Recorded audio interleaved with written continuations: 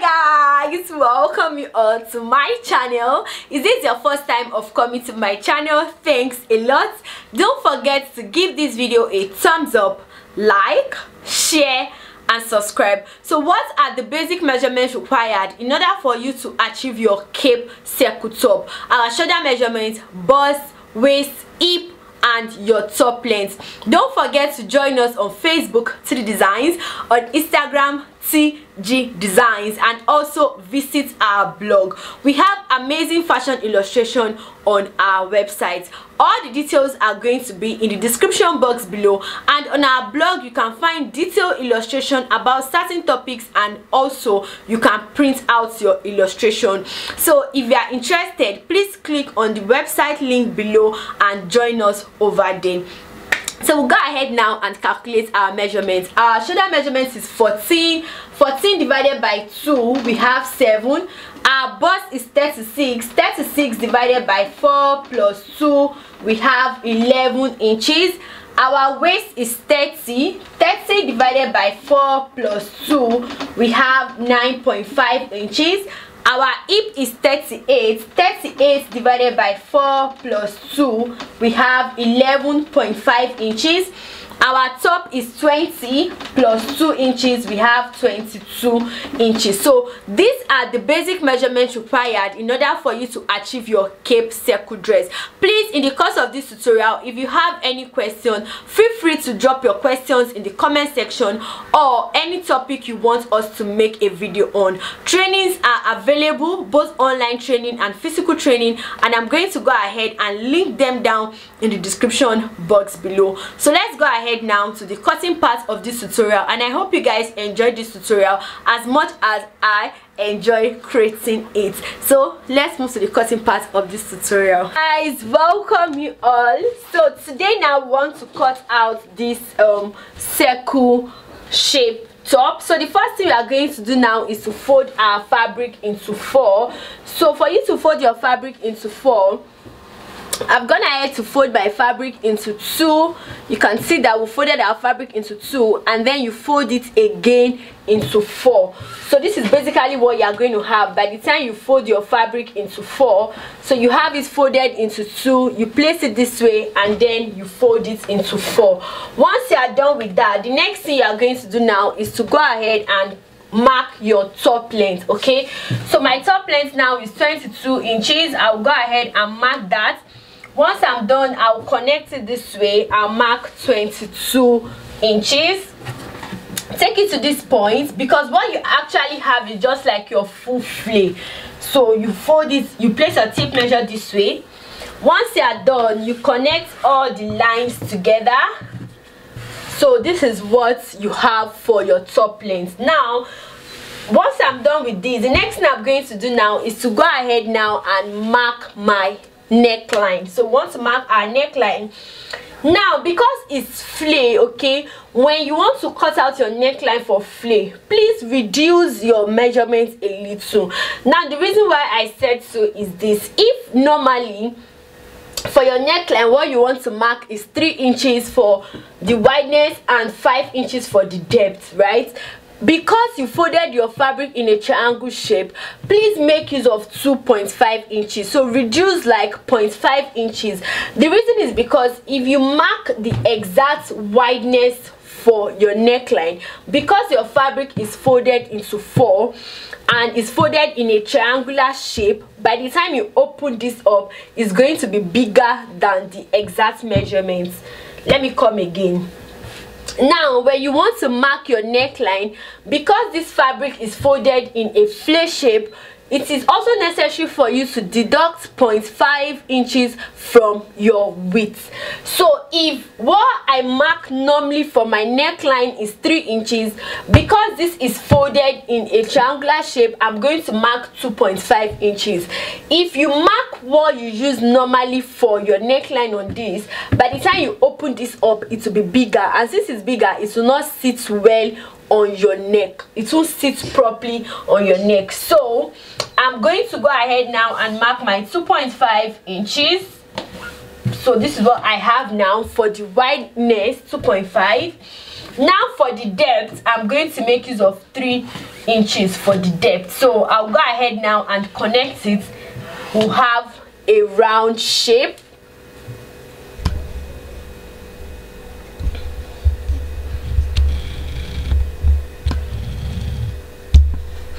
connect it to have a round shape so once you are done now you go ahead and mark your shoulder measurement so my shoulder measurement is seven inches i'll go ahead and mark my shoulder measurement so this is my shoulder measurement so shoulder to bust shoulder to bust now i have nine inches shoulder to bust i have nine inches so what you are basically going to do now is actually very very easy to achieve this style so this is our bust the reason why i marked our bus line is so that this will enable us to be able to know where we want to stitch up to and don't forget that this part is our arm, or where you're going to fit into your arm so if you have any question please drop your questions in the comment section or you have and any is what we are going to have so you discover that this is the length after our length we also marked our neckline so i'll go ahead now and open this up please feel free to drop your questions in the comment section or any topic you want us to make a video on okay so i'll just go ahead now and open this up this is actually very easy it's an easy style so we cut out the neckline by the time you open this up by the time you open this up this is what you are going to have so you can see that what you have is wider because your fabric is folded in a triangular shape and basically it's even better that you have um it's better you cut out when you are marking you cut out like a little neckline like the way i did 2.5 instead of three inches and by the time you open it up you can check to be sure that what you have is fine and you can go ahead and trim it so basically it's better you have a slim neckline okay you can retrim than having a big neckline that doesn't sit on on the neck properly and because this is a circular shape um, top you can't you are not joining the shoulders together so there's no way you'll be able to adjust it now if Is like a regular top where you are joining your shoulders together if your neckline is wide you can join it but because we are not opening up any of these parts, so i just prefer it being tight and if i'm not fine with it i can just go ahead and you know trim it off again so this is basically what we are going to have let me place it this way so that you can see like the full shape of our top so you can increase yours it depends on what you want to achieve at the end of the day so now this is where we marked our nine inches for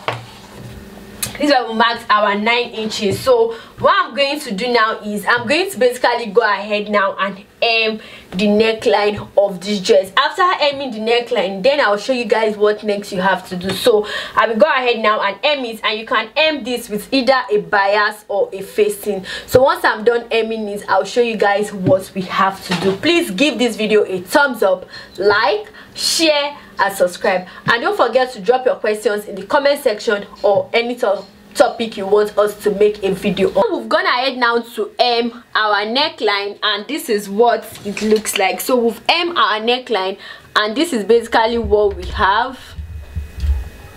So the next thing we are going to do now is just go ahead and rearrange your fabric okay so now we want to So the next thing we are going to do now is to mark our shoulder to our armhole which i explained earlier nine inches so this is where we have our armhole so this is the line for our armhole you can see now another thing you also have to do now is to get the middle part of your fabric okay so this is the middle part of my fabric here this is the middle point of my fabric so now you want to measure your bust measurements and your waist measurements okay so we want to measure our bust measurements and our waist measurement, this is actually very easy to achieve and our bust measurement is 11 inches so at this point now which is our middle point you will go ahead and mark 11 inches which is the midpoint you mark 11 inches on this part you will also go ahead now and place your tape measure at this midpoint and mark your 11 inches on this other part of your fabric so you mark your 11 inches on this other part by the time you are done you are going to have a total of 22 inches which is for the front block so now you also go ahead now and mark your waist so my waist is 9.5 i will come to where i have my waistline so bust to waist is eight inches bust to waist is eight inches and I have a detailed video where I explained distance calculation, how to know what to mark from your shoulder to bust, bust to waist, waist to hip and all of that. So I'm going to go ahead and link the video i'm going to put down the link of the video in the description box below you can go ahead and watch that in order for you to know where to mark your waist your hip and your shoulder measurement so once you are done now at this point now you go ahead now and mark your waist measurements my waist measurements is 9.5 9.5 and at this other part i will also mark my waist measurements, which is 9.5 so once i'm done i will connect my waist to bust and also connect this other part also so this is what we are going to have at the end of the day now in order for you to stitch this this is the front part of my fabric like i said earlier i said this is the front part of my fabric and this other part happens to be the back side of the fabric so when you want to stitch this you are going to stitch it on the front side of your fabric you are basically stitching what you have on the front side of your fabric so what you are going to do now is actually very easy this is where we mark so go ahead now and stitch this point up to this point you will discover that i did not connect